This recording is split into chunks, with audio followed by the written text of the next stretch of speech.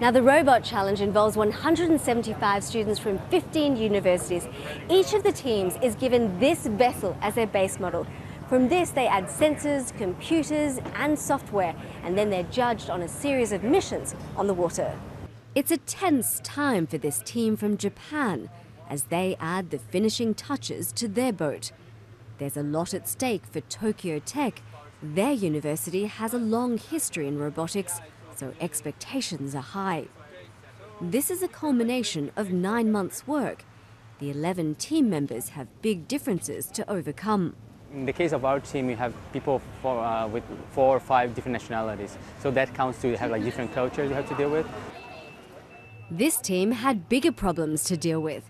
Singapore's University of Technology and Design made a fundamental error, putting too much weight down one end, so their boat flipped. We were not prepared with a lot of spares, but fortunately all the other teams kind of helped us through. No one decided to give up on, the, on working on the project, so we kept trying and now we are going back to our waters now. So it's not just about winning, but teamwork and innovation. Key factors that the judges believe will help to develop technology for the future.